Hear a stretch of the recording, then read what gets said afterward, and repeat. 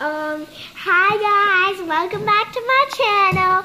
And you need to kiss my wimble. And today we're gonna learn about how Mama put banana and orange peels down the garbage, and I mean down the sink, and how it smells so great. We're gonna put you over there, and then you're gonna kiss my camel. I don't have a camel. Sniff it. Mm. Ah, it smells so good. Does it smell great? Does it smell great? Yeah, it smells so good.